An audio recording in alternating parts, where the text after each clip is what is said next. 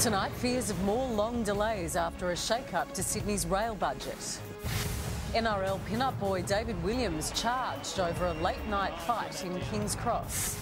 The removalists arrive, helping Julia and Tim adjust to life after the lodge. Egypt on the brink of a military takeover as a crucial deadline looms. And Judith Durham celebrates turning 70, vowing to return to the stage. This is 7 News at 6 with Chris Bath. Good evening. Sydney's half million rail commuters are being warned underspending on tracks and train maintenance will only cause more frustrating delays. 7 News can reveal cuts in key areas of the state budget explain why delays are happening more often than not.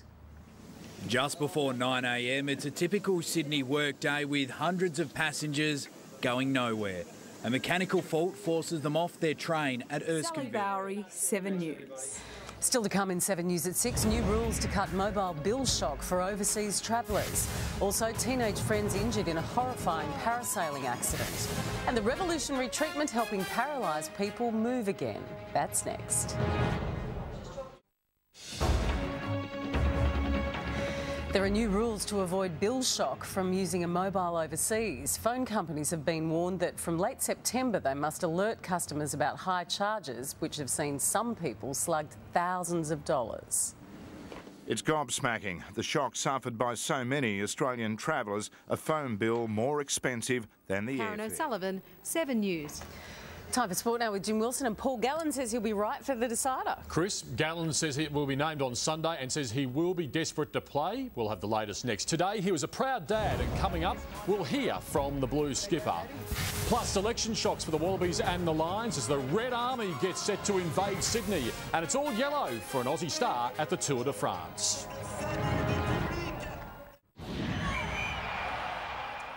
A massive boost for the Blues with skipper Paul Gallen confident he'll overcome a foot injury in time for the State of Origin decider. Game three is now officially a sellout with Gallen desperate to help New South Wales end Queensland's seven year reign. No surprises when it comes to what Cody Gallen will be yelling out at the Origin So decider. don't forget tonight it's Djokovic against Tomas Berdych, followed by Andy Murray and Fernando Verdasco, exclusively live on 7 2 from 10 o'clock. And Chris will flick across to right here on 7 just after midnight, a big night ahead of the championships. Nice plug. Thanks, Jim. Okay. Still to come in 7 News at 6, the Fresh Sydney faces hoping for a shot at modelling stardom. And we're in for some unseasonably warm July weather. I'll have Sydney's forecast next. This weather report brought to you by Bird's Eye Steam Fresh Fish. Tonight's 7 News headlines fears of more long delays after a shake-up to the Sydney rail budget. Manly NRL player David Williams charged over a late night fight in King's Cross. Julia Gillard adjusts to life after the lodge with removalists packing up at the PM's residence. And Seeker singer Judith Durham celebrates turning 70 with a promise to return to the stage. Hundreds of teenage girls have lined up in the hope of becoming modelling's next big thing. Parramatta Westfield hosted the Girlfriend magazine model search today, Australia's longest running competition of its kind. Just 12 finalists were chosen from the crowd. The overall winner will secure a two year modelling contract and receive a year's supply of makeup, probably enough to make many teenage girls jealous. Now, here's Sarah with Sydney's weather. Thank you, Chris. Well, it felt more like spring in Sydney today with sunny weather and temperatures well above average. It reached 20 degrees this afternoon. The morning was quite chilly though, just 8 degrees at 7 o'clock. Minimums fell to 5 in Parramatta and Liverpool, 2 at Richmond, with local frosts in the outer southwestern suburbs.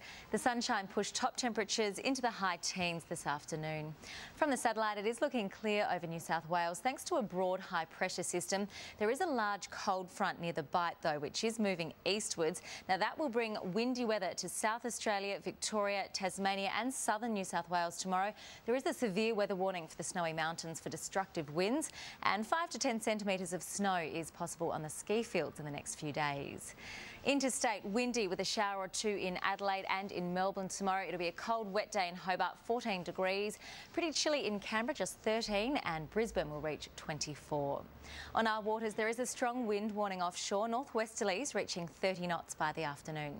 Now, the weather is staying clear in Sydney tonight. Tomorrow it will be sunny again and just a little windy, 21 degrees. That's five above average, thanks to the warmer northwesterly winds. Now, those winds will become fresh and gusty at times, especially especially during the afternoon. We're heading for tops of 21 degrees at Richmond and Parramatta tomorrow, 20 in Manly and at Penrith. It'll be 19 in Terrey Hills and Cronulla.